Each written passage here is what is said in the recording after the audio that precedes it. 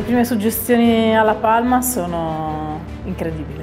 L'impressione è che sia un luogo veramente fuori da qualunque cosa conosciamo, quasi lontana dalla Terra, dove tutti questi diversi personaggi e comunità internazionali si ritrovano un livello tecnologico, un livello di visionarietà incredibile.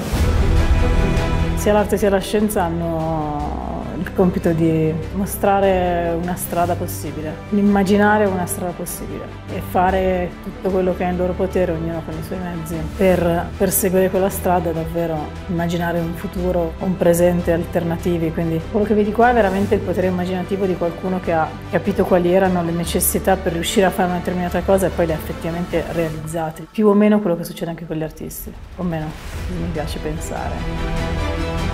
Credo che la cosa che tocca più le mie corde sia l'aspetto della visione, cioè tutto quello che riguarda un, un osservatorio, tutto quello che riguarda il lavoro dell'astronomo riguarda la vista, il guardare, quindi la visione questa volta in un senso fisico proprio, no? però tutte queste strumentazioni permettono di guardare in maniera immediata. È sempre un'osservazione che in qualche modo non è che sia indiretta, però poi i dati vengono, arrivano in maniera indiretta, per cui è sempre un guardare senza guardare. Questa è la suggestione che più mi affascina, proprio costruire un apparato gigantesco, complicatissimo, complessissimo, costosissimo, con dei materiali iper all'avanguardia per riuscire a guardare in modo che poi è privo dell'atto del guardare diretto.